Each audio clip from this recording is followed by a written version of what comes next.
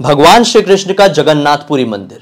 अपने आप में काफ़ी सारे रहस्यों को और चमत्कारों को समेटा हुआ है। काफ़ी सारे चमत्कारों के बारे में तो मैं खुद वीडियो बना चुका हूँ, आप लोगों को जानकारी दे चुका हूँ। शॉर्टकट में बात करें तो यहाँ का जो सुदर्शन चक्र है, जो आप कहीं से भी देखेंगे तो ऐसा लगेगा वो आपको ही फेस कर रहा है। मंदिर का जो झंडा है वो हमेशा हवा के विपरीत डायरेक्शन में ही लहराता है। मंदिर का जो गुंबद है, उसकी परछाई कभी नहीं बनती है और कोई भी पक्षी या विमान मंदिर के ऊपर से उड़ता हुआ आज तक नहीं देखा गया है।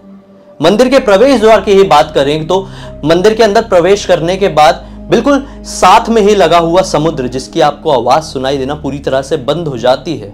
तो वहीं पर मंदिर के रसोई के चमत्कार के बारे में बात करें तो यहाँ पे जो प्रसाद है, महाप्रसाद है, वो हमेशा सात बर्तनों में ही पकता है।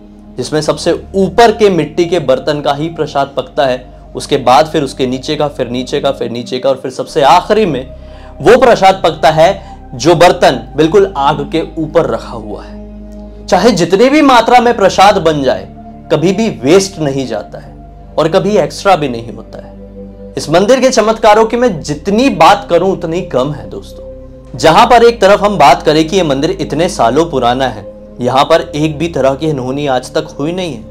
लेकिन अभी पिछले कुछ दिनों में यहाँ पर तरह तरह की घटनाएँ हो रही है।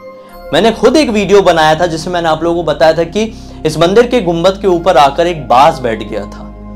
फिर अभी कुछ दिन पहले एक बहुत ही अजीब गरीब घटना हुई। इन सारी चीज़ों को मद्देनजर रखते हुए सभी लोगों का यह मानना है कि ये सारी घटनाएँ यूँ ही अपने आप नहीं हो रही है, बल्कि आने वाले समय की एक अनहोनी का इशारा हो रहा है। मानो कि भगवान जगन्नाथ खुद अपने भक्तों को आगाह कर रहे हैं। ये सारी चीज़ें हो रही है, ये ताकि लोग जान जाए कि आने वाले समय में कोई बहुत बड़ी अनहोनी हो सकती है, कोई बड़ी घटना हो सकती है। उससे कुछ ही समय पहले एक और घटना सामने आई थी कि मंदिर के ऊपर का झंडा जल गया था। ऐसी तरह तरह की बातें सामने आ रही है। अभी हाल फ़िलहाल की ही बात करें तो मंदिर के पुजारी जब मंदिर के पट बंद करके जाते हैं तो अच्छे से चेक कर लिया जाता है कि मंदिर में सब कुछ सही है कि नहीं। कोई छिपकर तो यहाँ पर नहीं बैठ गया, या फिर कोई किसी तरह की शरारत तो नहीं करना चाह रहा है। उस दिन भी बिल्कुल ऐसे ही हुआ। मंदिर के पुजारियों ने मंदिर के अच्छे से जाँच किए, आखिरी प्रक्रिया जो होती है वो सारी प्रक्रियाएँ किए, मंदिर के पट बंद किए और अपने अपने घर को चले गए। जब सुबह वापस यहाँ पर लोग पहुँचे, मंदिर के पट खुले, मंदिर की रसोई खुली तो लोग दंग रह गए। लोगों को अपनी आँखों के ऊपर विश्वास नहीं हुआ, आँखें सबकी फटी की फटी रह गई। और सभी लोग तरह तरह के तर्क निकालने लगे कि यह बहुत बड़ी अनहोनी का इशारा है। भगवान जगन्नाथ खुद ये बताना चाह रहे हैं कि आने वाले समय में एक बहुत बड़ी दुर्घटना घटने वाली है। संभल सको तो संभल जाओ। लोग कांपने लगे। अफरा तफरी में पुलिस को बुलाया गया। पुलिस जब पहुँची तो पुलिस भी देखकर हैरान। किसी को कुछ समझ में नहीं आ रहा था कि इतनी बड़ी घटना यहाँ पर घट कैसे गई। घटना दरअसल ये थी कि मंदिर के रसोई में जहाँ पर 500 से ज़्यादा रसोईया और उनके लगभग 300 सहायक काम करते हैं, जहाँ पर माना जाता है कि खुद माता लक्ष्मी और माता अन्नपूर्णा अपनी देख रेख में वहाँ का भोज बनवाती है।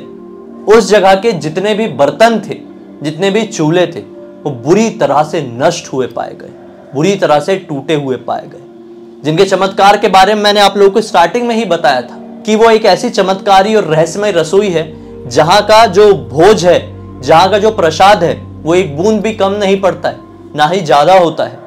वहाँ पे जब भोज बनता है, वो अलग अलग सात मिट्टी के बर्तनों में बनता है और सबसे ऊपर का जो प्रसाद है, वो सबसे पहले पकता है। इतनी ज़्यादा चमत्कारी रसोई जहाँ पर खुद माता लक्ष्मी, माता अन्नपूर्णा, भगवान जगन्नाथ का आशीर्वाद है, वहाँ पर कैसे मंदिर के पट बंद होने के बाद इतनी बड़ी घटना घट गई। पुलिस वालों ने अफरा तफरी में वहाँ के सीसीटीवी कैमरे को चेक किया। जो कि रेयर कंडीशन में ही किया जाता है। वहाँ की सीसीटीवी कैमरा को चेक किया गया तो लोग क्या पाए? जो अभी तक बहुत ज़्यादा घबरा रहे थे कि ये बहुत बड़ी अनहोनी है, ये भगवान जगन्नाथ का कोई इशारा है, कोई बड़ी दुर्घटना घटने वाली है, लोगों को पता चल गया कि ये सारा किया धरा भगवान का नहीं है। किसी अनहोनी का इशारा नहीं है, बल्कि एक आदमी का है। आदमी ने लेकिन ये क्यों किया? सीसीटीवी में क्लियर ये कैद हुआ है कि एक आदमी वहाँ पे घुसा है।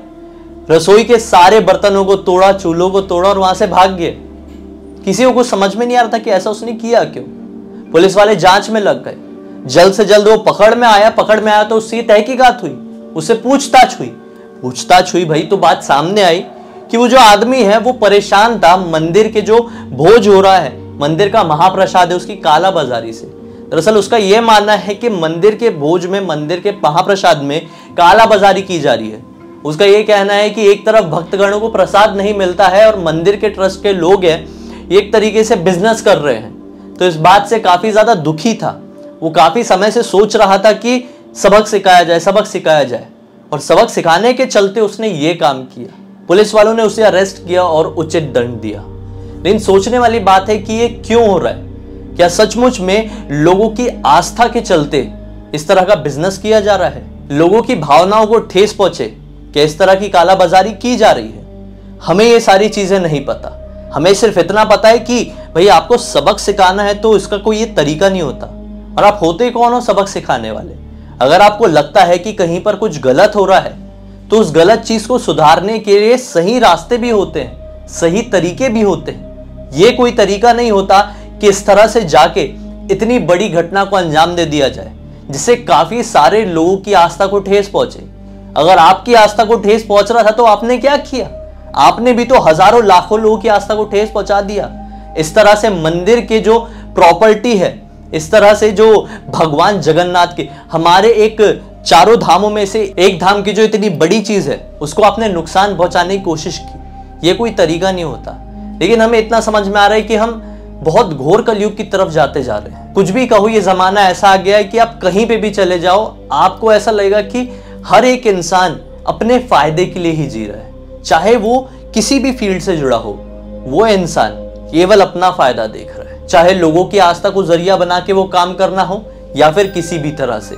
ये चीज़ आपने खुद ने भी नोटिस किए होंगे। माफ़ कीजिएगा, अगर मेरी किसी भी बात का आपको बुरा लगा हो, मैंने उतना ही कहा जितना मुझे समझ में आया। अब आपको क्या समझ में अपनी राय कमेंट सेक्शन में ज़रूर बताइए। अब तक इस वीडियो को देखे तो लाइक ज़रूर कर देना। ज़िंदगी में कभी भी मौका मिले तो भगवान जगन्नाथ पुरी धाम ज़रूर जाना। मुझे पहली बार देख रहे थे चैनल को सब्सक्राइब करके बेल आइकन दबा के ऑल के ऑप्शन में क्लिक कर दीजिए, क्योंकि इसी तरह के हैरान कर देने वाले अनोखे वीडियो डेली आप लोगों के सामने लेके आता रहता हूँ। इन के लिंक इस वीडियो के डिस्क्रिप्शन बॉक्स में क्लिक करके डायरेक्टली वहाँ पर जुड़ जाना। किसी भी तरह का सुझाव या फिर बातें करते रहना है तो मैं वहाँ पर मिल ही जाऊँगा। चलिए कल फिर से मिलते हैं। तब तक के लिए बहुत बहुत धन्यवाद आप लोगों का दिन। शुभ हो। जय श्री कृष्ण।